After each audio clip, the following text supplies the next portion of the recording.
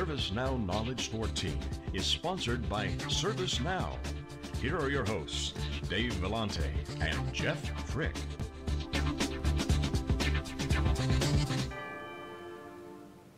We're back, this is Dave Vellante, and this is SiliconANGLE's theCUBE. We're here live at Moscone West. We're covering Knowledge 14, the ServiceNow conference. We'll be here all week. And ServiceNow, as we talked about at our open, is a company that's really transforming information technology departments, transforming organizations, really focusing on, on the value side of the equation. All too often within IT, we talk about cost cutting and doing more with less, which is still you know, vitally important, but you know, it's not directly necessarily adding value to the business. That's really what, what ServiceNow is, is insanely focused on with a new platform that, uh, that is catching fire. Um, we're here with Brian Kenfield, who's project manager at Einstein Noah Restaurant Group, who is a customer of ServiceNow, and Jason Wojahn, who is the president of uh, the Cloud uh, Sherpas ServiceNow business unit, uh, partner of ServiceNow, and, and an organization that really facilitates the movement to the cloud. Gentlemen, welcome to theCUBE, it's great to see you. Thank you. So Brian, I wonder if we could start a little bit with Einstein Noah and, and tell us about that organization, um, what you guys do and what your role is there. Sure. Um, so we're the largest bagel bakery uh, nationally. Uh, we have uh, 850 locations approximately. Um, the majority of our corporate locations is around 460, and that's where we main mainly uh, targeted for our rollout of ServiceNow. What is it about the bagels in New York City? I mean, it's something about the bagels in New York City. Even in the subway, they just, they seem to taste that much better. Is it the water or what's the deal? You know, they say it's the water, right? um, but it does, it does have its uh, classic taste out there. Um, regionally, we also have a very uh, broad following out here in San Francisco as well. Um, with Noah's New York Bagels um, having that theme, and uh, it's a it's a great product, and we really uh, I really enjoy working for the company. Now, what's your role there? Uh, so I'm a manager of enterprise projects and IT quality assurance. Um, been with the company for 13 years. I've been handling and managing the majority of all of the major implementations from a software and hardware perspective. Um, I've also been kind of on the front side of uh, implementations to the stores, installations, that sort of thing as well. So um, been had my hand in every kind of aspect of the business, and uh, continuing on with uh, ServiceNow and Cloud Sherpas. So you're responsible for implementation. So you're not the PMO, or are you the PMO? We are too? the PMO. We're okay. developing that currently right now. Oh, okay. Uh, and I will come back to that and sure. try to understand how ServiceNow might might fit into that a little bit. Sure. Now, Jason, let's talk about Cloud Sherpas. I, I love your, your business. Um, you guys, I think, focus on three areas. Salesforce, uh, uh, Google Apps, and obviously ServiceNow, right? That's correct. Is that, is that correct? Yeah, that's correct. And you run the ServiceNow business unit. Hot, hot part of the company, I'm sure. Maybe talk a little bit about uh, uh, uh Cloud Sherpas generally, and specifically the ServiceNow business unit. Sure, so Cloud Sherpas is a GSI in the cloud. We're focused, as you mentioned, on Salesforce, ServiceNow, and of course Google. Uh, we're one of the top five largest integrators in the world uh, from a Salesforce perspective, platinum on three continents. Largest Google Enterprise integrator in the world, Google's Partner of the Year 2011, 2012, and also just announced 2013. The ServiceNow practice, which I'm responsible for, uh, we were the first partner in the US um, uh, with ServiceNow back in 2007. We were the first partner to uh, achieve uh, ServiceNow's preferred partner status, and we're one of two partners to have achieved master services status as well. And you should, should win a, a, a contest for best name. okay, so now Brian, take us back to uh, how, so pre-ServiceNow, how, how long ago did you bring in ServiceNow? Uh, it's been a little over a year. Okay, um, so relatively new. Relatively new. So take us back to a year ago, you know, prior to doing the POC or whatever it was, describe your environment at that time. Sure, so we had a legacy system that was an incident tracking system that was 15 years old, um, was not a flexible database, the architecture was old, um, we weren't, it wasn't flexible, we weren't getting the results that we needed out of it from a reporting perspective, really understanding our SLAs, understanding our, our needs as a company to make sure that we're addressing those high priority needs that have to have attention right away as, as well as um, measuring the concerns of our end users. Um, so yeah, maybe interrupt. Sure. When you say it's not flexible, it just it didn't evolve with your business. That's right. Okay. That's right. We were we were locked into um, the, the functionality of the, the database, which um, takes a lot of time to make changes. Um, it really becomes you know kind of a, a, snailware, so to speak, that where you put in a, a, request and you have to wait for that request to happen. Where when we moved and transitioned to ServiceNow, um, it, the dynamics of the database and the dynamics of the application allow you to do things on the fly, which is something that we were not exposed to as an organization.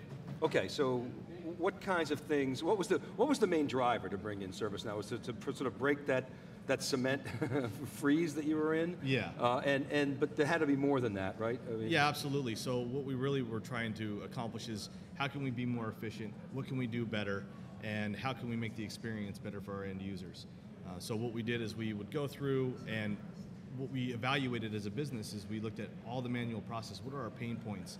You know, we talk about email, we talk about fax, we talk about phone calls, all of those things taking away from our managers that are at the stores that should be paying attention to our customers, focusing on the experience of the guest and not administering all of the information in the back office. So what they would have to do um, before ServiceNow is they would have to go and call our support desk, give us give them the information. If there was any conversation back and forth, there was always follow-ups, there was email back and forth, and it was always thought of as, um, am I really getting the attention I need?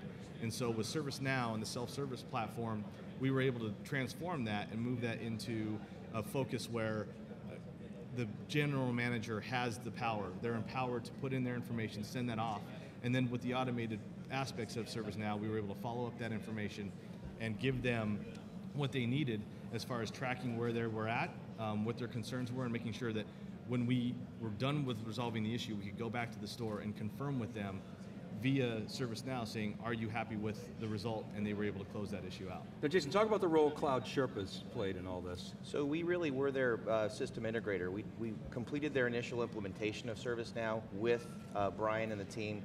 We were there to really take their requirements and help them rationalize that into the cloud platform of ServiceNow. Make sure that we're working with them to not only take this as an opportunity for them to move towards better or more common practices, but also take this as an opportunity to streamline, to automate, and really to leverage the power of the platform of ServiceNow. Okay, so you guys have expertise in this. You, you've helped, you know, dozens, if not hundreds of customers. Where do you start in a, in a, in a project like this? Uh, you always start at the beginning, right? So. Okay, um, where's that beginning? with, with, with Brian, the, the, the, the beginning really was making sure that we had a good understanding of their requirements, that we were aligning well to uh, their particular business needs, their particular objectives, and helping them understand that you know your initial implementation of ServiceNow is not intended to be your last implementation, which is really what they experienced with Heat you implemented it once and that was the tool that you had for the next 15 years. ServiceNow is really meant to be uh, more flexible than that. It's meant to help and uh, expand past just the boundaries of IT and create transparency in the stores and, and uh, from a key performance indicators perspective, SLAs, and, and really help uh, not only empower uh, the business users, but also the IT people that are supporting that and, and bringing that forward. So where we typically start is really understanding requirements, really understanding objectives, making sure that we're aligning to that, and then making sure that we put the projects in, in such a context that there's a series of improvements being made successively. And so is that really where you sort of started to see the value, was you, you started to attack the project portfolio? Uh, Well, I think really what ended up happening was is we started real we started attacking it from an incident standpoint. How can we be better there? But then as we started having further conversations with Cloud Sherpas, we really understood the global effect or enterprise effect that we would have with the application, how it would enable other departments within our support center, as well as being able to support our end users in the stores. Um, so we took our primary uh, users that are in the support center, our risk department, our HR department, our real estate department, our payroll department, and we're able to take a lot of the manual processes they do. I mean, literally stapling things to tickets and filing them away. We were able to take those electronic forms, put them into ServiceNow, and now we have a smooth workflow process that addresses the request, finishes the request, and processes the request in a timely manner. So were you involved up, up front? Yes. Up front? Okay, so, Yep. the, so it was really incidents around the projects that you were deploying Mm-hmm. uh, and, and working through the, the, the deployment. And then I presume you, then once it became a system, you, you obviously kept that practice up. Um, Yep. Now, are you also utilizing ServiceNow at this point to, to, for pro- project prioritization and Yeah, so business that's case one analysis? of, one of the main reasons why we're out here at Knowledge for, for, the, for that um, reason is that we want to uh, expand our PMO role, uh, expand the enterprise presence, and understanding how we can make the entire organization efficient. Um, that's by measuring what we're doing with the projects. Are the projects a priority?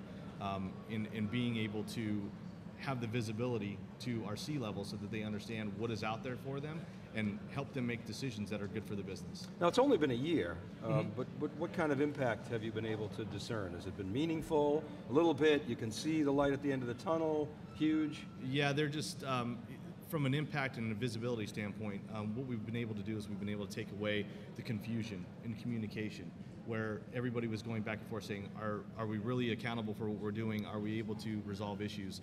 That discussion has gone away um, because of the way that we've set up in ServiceNow with not- of notifications and being able to close that communication with the end user that's requesting. That's been uh, a huge um, change from a philosophy that we were, how we were dealing from an IT perspective. Um, the other thing that we're doing is, is I think that we're taking the opportunity now with the new platform is to um, revisit new old policies, procedures, making sure that we're, we are being efficient. Is this a time to change what we're doing and really allowing our departments to be innovative and, and, and set the pace for what we're going to do in the future? Are you, uh, you know, everybody talks about this consumer-like experience. Is that something that you're trying to get to, or, or are you beginning to achieve that? Yeah, I think everyone's going in that direction. I mean, if you're not uh, heading in that direction, you probably are, you know, going to be lost in the in the dust. But um, we are targeting that. Uh, right now, we were just trying to uh, make a transition so that we start expanding capabilities of ServiceNow. Um, and being part of the PMO and, and understanding what projects are uh, impactful for our business is going to be a key um, indicator for us as we move as we move along. Jason, I wonder if you could talk about from, from your perspective. I talk to a lot of practitioners, and they I always they always say, people, process, technology. Technology is the easy part. It's people and process. But it seems different in this world of IT service management. It seems like you've you've actually got to have a technology that can, you know, provide a, a single version of, of a data model uh, that is, you know, flexible. It seems like the technology is fundamental. Is that true? Am I overstating that? Um, can you achieve this type of success independent of technology? I wonder if you could talk about that a little at the end of the day, I think it's really about first you have to have the opportunity, and the opportunities with creating a single source of record uh, in tools like ServiceNow are what really gives you the opportunity to get force multiples out of your people, your process, and your technology. And one of the biggest things that, and I think some of the biggest opportunities we saw at Einstein, for example, um, was just the opportunity to simplify, right? Many, many manual processes. Well, once you get that information into a single source of record with workflow automation on top of that, of course it becomes very simple to ask some very simple questions. How can we streamline this process? How can we create more transparency for your end users? How can we empower them with information? And, and make the process in the stores such that they ask for something once and they can keep a status of what's going on over time and minimizing the back and forth of information. The single source of record is paramount and foundational to that. What are the big mistakes that you see people making when you get involved in a project and you go, uh-oh, and you advise your customer, don't do that because it's going to be problematic, but they maybe do it anyway, and you talk internally and you say, this is going to be a problem, and you, and you sort of get some, you know, a little friction going with the client. What are the mistakes that people make that you would advise them not to repeat? clarity of requirements, uh, utilizing the intellectual capital of the people that have come before you. Uh, we've done over a thousand ServiceNow projects. We've seen a lot of customer use cases, a lot of requirements examples. There are industry best and common um, reference points. And the reason ServiceNow is configured the way it is out of the box is by intention, it's not by accident. So really taking the time to understand what those different aspects of um, ServiceNow or the configuration of the ServiceNow are, and then to use that as a foundation going forward versus how do I get this tool to look like my old method of doing something, actually uses an, an opportunity to evolve going forward. Brian, Uh, anything you would do differently or advice you'd give to your, your peers in terms of um, things to, to avoid or things to emphasize? You know, um, to, to Jason's point, we want to make sure that you're, you really understand the direction of the organization, what you want to do um, as far as executing that plan when you're uh, taking on a new application such as ServiceNow. Um, I think the other advice that I can give is keep an, open mind um, to understand what the capabilities of the application are before you really start setting in stone what you want to do. Um, but also, it was a great um, experience for us from an IT perspective. You know, back in the years past, it's been, you know, IT tells you to do this, you have to follow those directions. In this case, it was more of a collaborative effort with our own organization to really start getting that momentum and understanding what the business needs were. Once you get that going, the departments that you're working with understand the value of the application itself as well, and makes your job that much easier. How about this notion of ServiceNow as a platform for application development? I was struck last night walking through the exhibit hall. I think the App Creator was announced last year at Knowledge, and I just saw the list of applications, and it was just mind-boggling. Mm -hmm. um, but at the same time, you got developers, they, they know Java or Python or Roku or whatever it is they're using. Mm -hmm. um, how much traction do you see that capability gaining in your organization, and, and how do you see it you know, permeating? Well, I, I, really think that it's, uh, it's, it's something that we really haven't tapped into yet.